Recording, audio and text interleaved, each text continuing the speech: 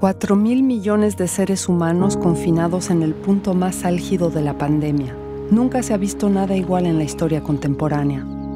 En Boston, Rabat, Niza, Guwahati en la India y también en París. Imágenes espectaculares de un planeta que funciona en cámara lenta. Los animales salvajes se adentran en ciudades desiertas. Todo comenzó en China a finales de 2019 en un mercado de animales salvajes de Wuhan. El mundo descubrió entonces el coronavirus, capaz de provocar una infección pulmonar mortal. Ante el riesgo de contagio, Pekín decidió confinar a finales de enero a casi 60 millones de habitantes de las ciudades en el centro del país. Pero ya era demasiado tarde para contener esta epidemia galopante. Deswegen lassen Sie mich sagen, es ist ernst. Las fronteras se cerraron, en tierra los aviones se inmovilizaron y en los hospitales los servicios de reanimación se hallaban desbordados. Estábamos al borde del colapso.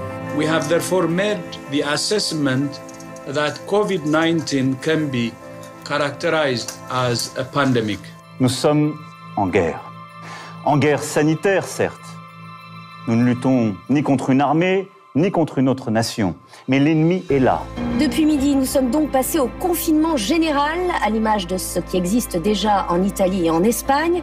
On ne doit plus quitter son domicile que pour aller travailler, acheter de la nourriture, se soigner, et chaque déplacement doit être justifié. A principios de abril, se pidió a la mitad de la humanidad que se quedara en casa.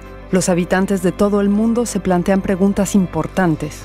¿Podremos ir a que nos curen si estamos enfermos? ¿Podremos seguir haciendo las compras? ¿Seguiremos teniendo electricidad y agua? ¿Se recogerán los residuos?